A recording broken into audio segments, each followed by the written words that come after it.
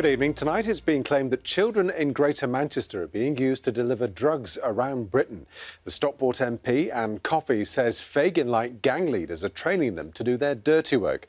It is, she says, the next big grooming scandal. Naomi Cornwell is here with more on this, and it's Ann Coffey's not alone in being concerned about this, is she? No, she's not, because the charity Missing People says research shows that vulnerable children from our region are being targeted.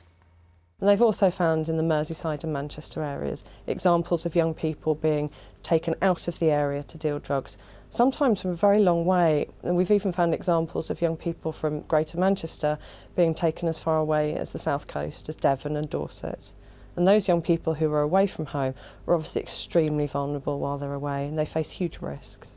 Well, now the MP for Stockport has raised this problem in the House of Commons. She's explained how these gangs operate, saying these children come from big cities like Manchester that are home to organised crime gangs and Fagin-type characters.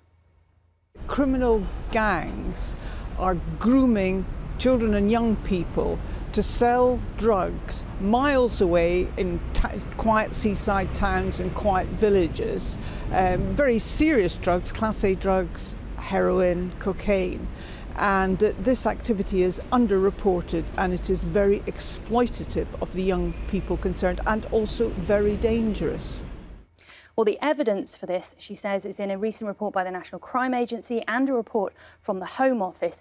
And conversations with police forces across the country have led her to believe that this is a problem that's been underreported. And how does Ann Coffey suggest that this could be tackled? Well, today she's asked the Home Office Minister to introduce a type of civil order if the police suspect that a, a, a, child or a young person is, is at the start of a process of being groomed for criminal activities, they can slap an order which says you're not allowed to go anywhere near that child or make any contact with this child. If you do, you'll go back to court and you'll go to jail. Now, because this problem is thought to be underreported, Ann Coffey says perhaps the most frightening aspect of it all is that no one knows exactly how many children are involved at the moment or how many are at risk of being drawn into this. Naomi, thank you. The inquest into the deaths of the band Viola Beach has been opened and adjourned in Warrington on the same day a tribute concert was announced in their hometown. Kris Leonard, River Reeves, Thomas Lowe, Jack Dakin and their manager Craig Tarry died last month in an accident in Sweden. Stuart Pollitt reports. Family and friends of Viola Beach arriving at Warrington Town Hall this morning, hoping to find out more details about what happened to their loved ones. At the opening of their inquest, Detective Sergeant Elaine Duddle from Cheshire Police told the court the men's car was travelling along the E4 motorway 18 miles outside Stockholm. It drove through barriers to a restricted area before colliding with a raised bridge, causing severe injuries. The car then fell into the canal 25 metres below. Swedish accident investigators are looking into why the crash happened. It has since emerged that CCTV footage of the incident wasn't saved.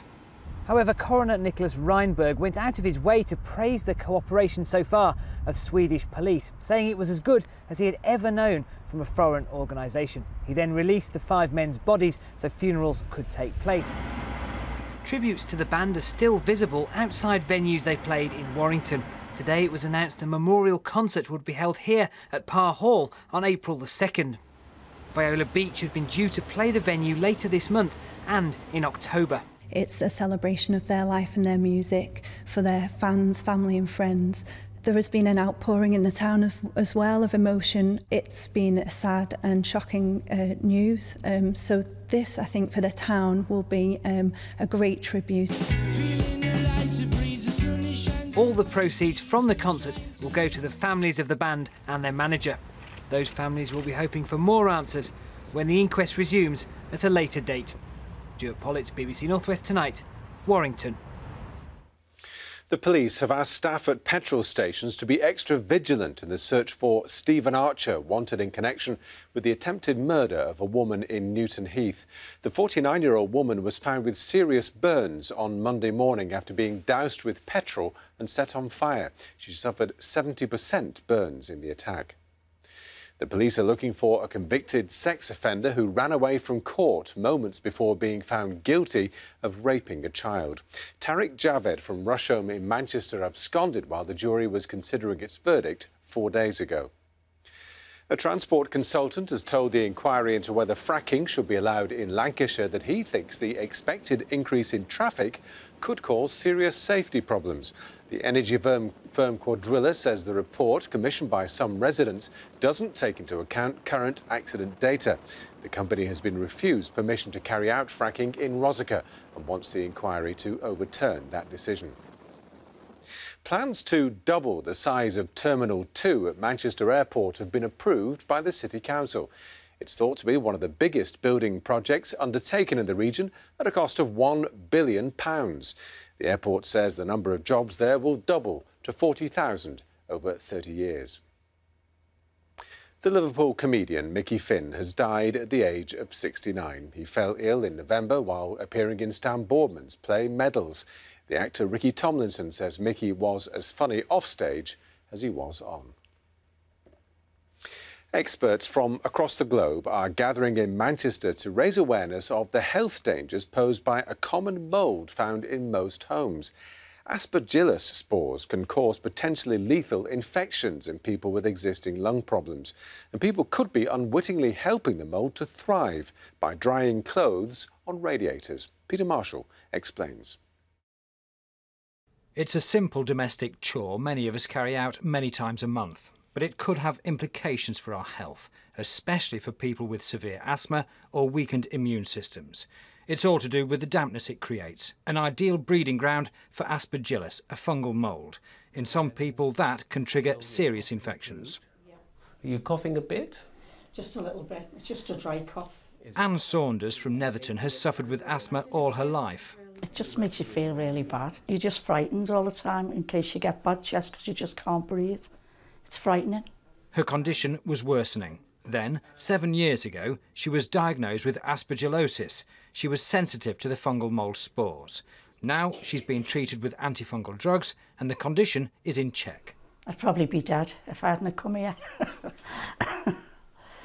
This is as stark as that. yeah, I know I'm laughing now, but yeah, I probably would have been, yeah.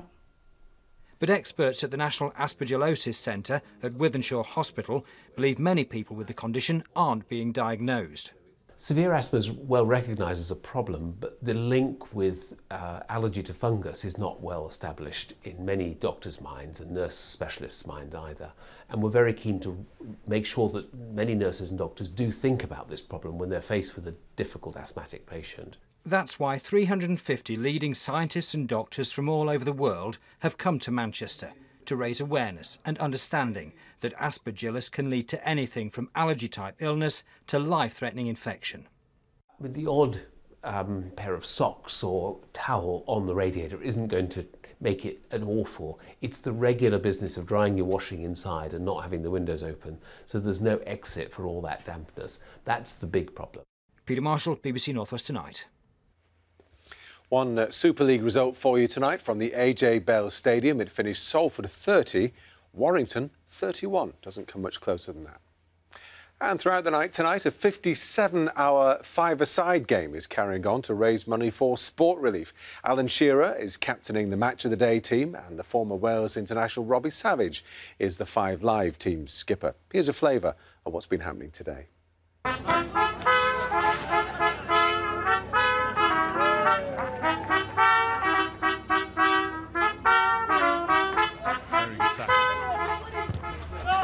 Gets it in, 7-5. Savage, oh. Well, good luck to those who've got to play overnight in this weather. That's it from me, but let's see what the weather holds. Here's Claire.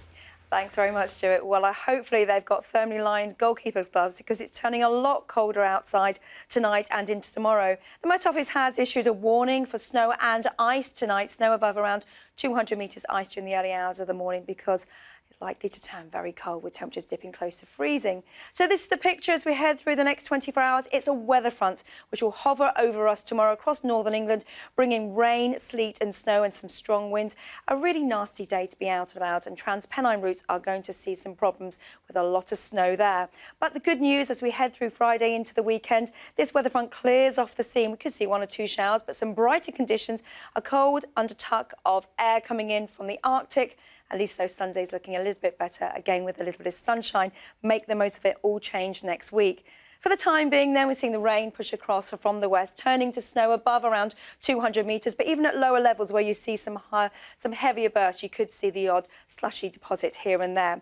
Above around 200 metres, then it's two to five centimetres of snow. As I said, Transpennine routes will be causing some problems tomorrow because there will be a lot of snow and a cold wind. Temperatures then dipping close to freezing. Watch out for slippery surfaces first thing.